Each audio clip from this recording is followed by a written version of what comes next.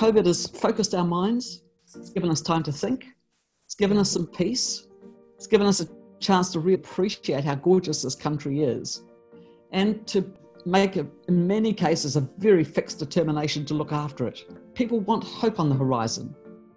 They want something to look forward to. They want to think about a better future for our country. They want to see a future for their children and grandchildren. In the farming community, they want to be able to see a future for their kids on the land in many cases.